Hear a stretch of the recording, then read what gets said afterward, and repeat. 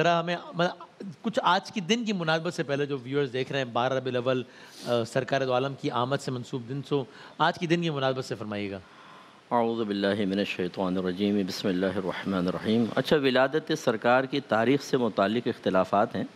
बाज़ ने बारह को ही मिलाद मुस्तफ़ा अलैहि वसल्लम की तारीख़ करार दिया है लेकिन कभी दलाइल नौ के ऊपर है। राइट लेकिन वो लोगों में मारूफ़ हो जाती हैं चीज़ तो फिर उसमें कोई हरज भी नहीं है।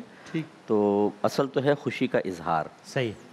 तो ये चूँकि नबी करीम सल्लल्लाहु अलैहि वसल्लम की विलादत बासादत से मुतक़ महीना है इसलिए आप सिर्फ़ बारह को ही नहीं बल्कि आप देखें पूरे महीने में बल्कि हम अहल सुन्नत में तो अल्लाह का शुक्र है कि पूरे साल ही ये मामला चलता रहता है। नात खानियाँ दीगर चीज़ें ये मामला चलते रहते हैं और ये मोहब्बत की अलामतें होना भी चाहिए।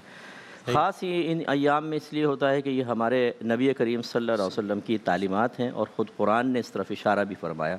सूर्य कदर में देखें, अल्लाह ताला फरमाता है, इन्ना इन्ना अनजल ना हो फ़ी लतुल्क़द्र बेशक हमने इस कुरान को लतुल्क़द्र में नाजिल किया। ये उलमा फरमाते हैं, लोहे महफूज से आसमान दुनिया पर यकबारगी कुरान नाजिल हुआ था, उसका बयान है। और इतनी बाबरकत वो रात हुई कि तिरासी साल, चार माह से ज़्यादा अल्लाह ने उसको मुबारक करार जी दिया। जी जी जी। तो जिस रात में कुरान नज़ुल कुरान हुआ अभी सीना मुस्तफ़ा पर नहीं आया वो रात इतनी बाबरकत कि हर साल आए तो अपने साथ बरक़ात लाए। तो जिस रात में साहिब कुरान तशरीफ़ लाए हों तो वो रात कैसी बाबरकत होगी और किस कदर हर साल वो बरक़ात लौटती होंगी इससे हमें इशारा मिलता है। क्या कहना है? और नबी करीम जब हिजरत फरमाई तो आपने यहूदियों को दस मुहर्रम हराम को रोज़ा रखते हुए पाया उनसे वजह मालूम की तो उन्होंने कहा कि मूसा सलाम और आपकी कौम को अल्लाह ताला ने इसी तारीख़ में फ़िरौन से और उसकी कौम से नजात अता फरमाई थी। तो आपने बतौर शुक्राना रोज़ा रखा था। तो हम भी आप ही की पैरवी में रोज़ा रखते हैं।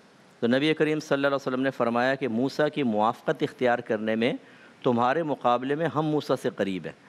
तो सहाबा को फरमाया कि आप भी रोज़ा रखें। अर्ज़ की गया ये तो यहूद से मुशाबहत हो जाएगी। फरमाया, फिर एक दिन पहले या बाद को रोज़ा मिला लो। छोड़ो नहीं। मुशाबहत तर्क कर दो लेकिन ये रोज़ा रखो। इससे मालूम हुआ कि एक मुबारक वाक़ अगर होता है अल्लाह ताला का इनाम इजहार फ़ज़ल होता है तो उसमें एक यादगार कायम करना बतरीक़ इबादत ये हमारे नबी की भी सुन्नत है और सहाब कराम की भी सुन्नत मुबारक है।